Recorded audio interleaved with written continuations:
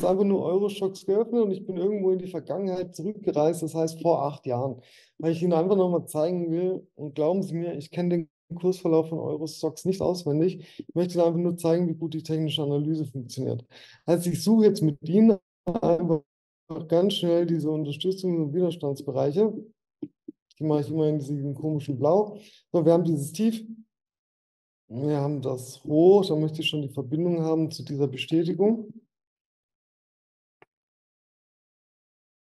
Äh, möchte diesen Unterstützungs-, diese Tiefs hier drin haben. Und hier habe ich meine wunderschöne Bestätigung.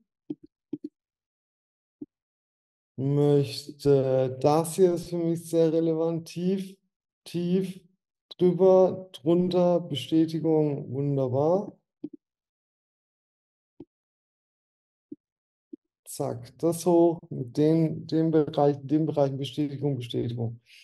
Hm, und noch einen und auch nicht mehr. Ja, das hier. Tief, tief, tief. So, und das war's. Und jetzt machen wir hier einfach nur eine Markierung rein, die nicht so aussehen sollte, sondern vielleicht äh, so. So. Ähm, nur jetzt für für uns alle als Info, dass wir den Kursverlauf nur bis hierhin gesehen haben. Und jetzt scroll ich raus und jetzt gucken wir uns an, hat uns das oder hat uns die Analyse der Vergangenheit, also hier, hätte uns das was für die Zukunft gebracht. Und das ist die Probe aufs Exempel.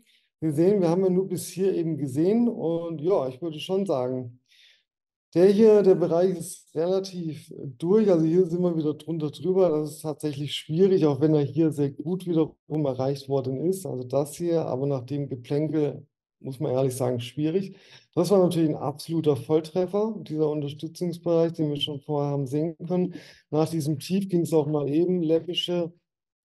Es wird kurz laut, eine Sekunde.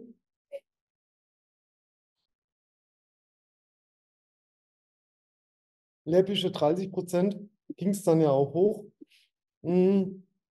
Auch hier, das hat einen sehr gut schützen können vor weiteren massiven Kursverlusten bei Corona mit einer schönen Bestätigung. Also wenn man auch dem nicht mehr viel anvertraut hat, hat man wenigstens nach Durchbruch nochmal den als Widerstandsbereich sehr gut handeln können. Ebenso immer wieder hier diese Bewegung sehr, sehr schön, wie er sich hier dran langhangelt. Äh, das Tief haben wir hier in dem Fall nicht. Und dann sollte man sich immer die Frage stellen, warum hat man so ein signifikantes Tief nicht? Ist ein Fehler in der Analyse drin, was auch immer. Und ja, dieses Tief hatte ich jetzt hier in der kurzen Analyse mit den Bereichen ähm, eben nicht mit eingezeichnet. Das ist dann eben auch diese, ja, nehme ich es halt jetzt so mit rein oder habe ich dann zu viele Bereiche?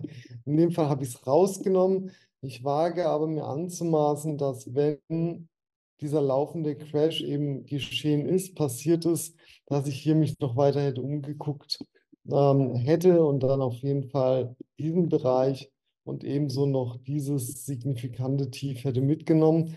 Und dann hat man hier auch nochmal sehr, sehr gute Anhaltspunkte.